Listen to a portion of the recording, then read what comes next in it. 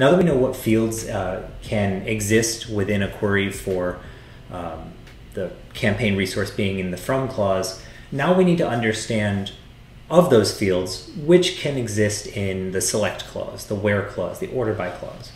Not all fields can exist in all clauses. And as a matter of fact, it's quite often that you'll find that a field is selectable, but it is not filterable. So to understand what is selectable, what is filterable, what is sortable, there are actually filterable, selectable, sortable uh, metadata fields on each object. So in this scenario, I'm looking at the uh, campaign.manualcpm attribute. This is an attribute on the campaign resource like we saw earlier. And I'm going to find out, are, is it selectable? Is it filterable? Is it sortable? What can I do with it within a query?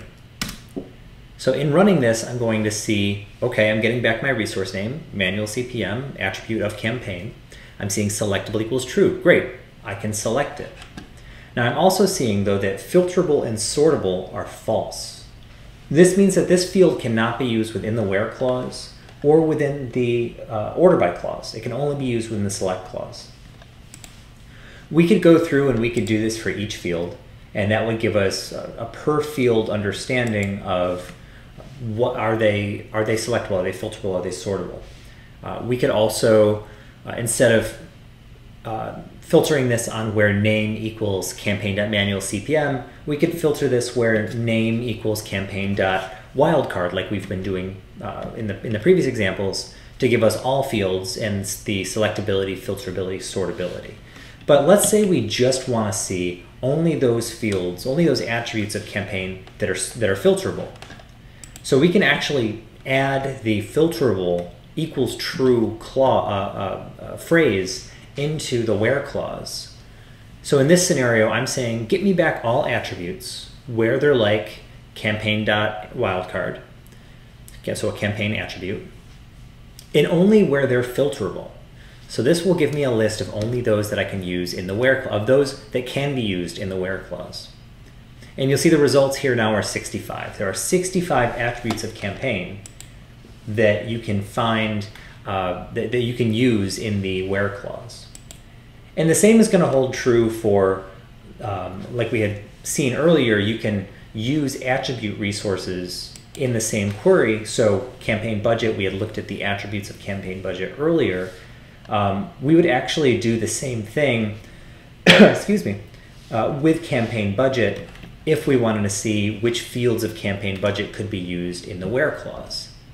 So again, same query, we're going to, there it is, we're going to um, select the name of the field where the name is like campaign budget.wildcard and where it's filterable equals true. So if I run this, I'm going to get back all of the um, campaign budget attributes that are able to be used in the where clause and you'll see there are 17. So this basically sums up how to understand which attributes can be used for uh, the where clause, for the select clause, for the order by clause. And now we need to look at the other aspects of, of the query, the other types of fields, metrics and segments. So metrics uh, and segments actually, they both are very similar in how you would figure out what can and can't be used in each part of the query. So we're just going to focus on doing it for metrics, and then you can go ahead and replicate it for segments. So for metrics, uh, the first thing that we're going to do is we're going to take a look at the metrics that are available, again, for the campaign resource. So to do so, I'm going to select metrics where the name of the field we're looking at is campaign.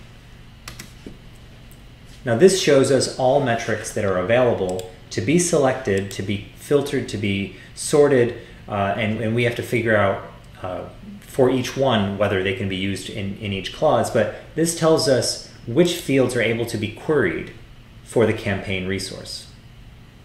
Um, in this list, there's metrics.clicks, metrics.impressions, um, all of the metrics available uh, for the campaign resource. So the next thing that we're going to do is we're going to save off this metrics list to a, a variable.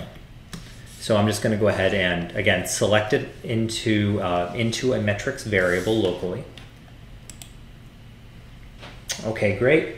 And the next thing I'm going to do is I'm going to do a very similar query to what we had done for attributes. I'm going to select, uh, I'm going to call the Google Ads field service selecting the name of the field where sortable or filterable or whatever I'm looking at is true. Uh, but instead of doing where name uh, is campaign.wildcard, instead I'm going to say where name is in the list of metrics that we just saved. So that's going to look like this. Uh, we're going to select again name of the field, where the name of the field is in that metrics list that we just saw, and where again sortable equals true, filterable equals true, selectable equals true, same paradigm for all of them. Now this is going to give us 83 results, and you're going to see that each result returned is a metric. And each of those metrics in the scenario of the query that we just ran are able to be used in the order by. They are sortable. Uh, you can do the inverse of this as well. If you wanted to say, okay, but which ones are not sortable, uh, you could just change this to false. Uh, it's going to work the same way. You're going to see there's only one metric in this um, uh, for, for the campaign resource that you can't select just because it doesn't work with the campaign resource. Now, it would be the same thing, again, like I said, for uh, filtering and selecting, and it would also be the same thing for segments. So this would be the paradigm that we can use to understand uh, what clauses to use our fields in.